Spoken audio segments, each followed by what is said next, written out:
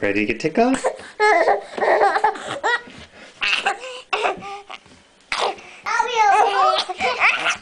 not going to see my coat, Daddy. I'm not fucking.